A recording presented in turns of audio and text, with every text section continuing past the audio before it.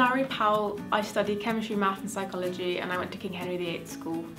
The transition was made a lot easier because you weren't expected to have any prior knowledge about the subjects. They taught everyone from scratch and it was all very basic and fair.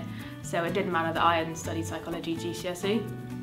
I really like the biopsychology side of it because it's very up to date and very scientific. Well, it's quite modern and everything, but then I also like the other side of it and there's a very broad spectrum all to do with social influence then when you do conformity and there's such a broad range of topics to study you can never really be bored.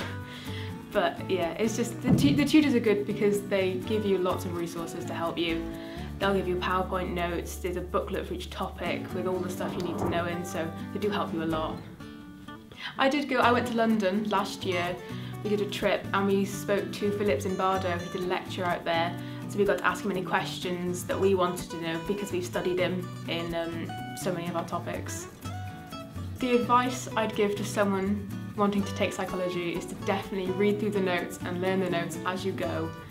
Make the most of any regular test you have or anything, just learn it as you go so you don't have to stockpile at the end of two years.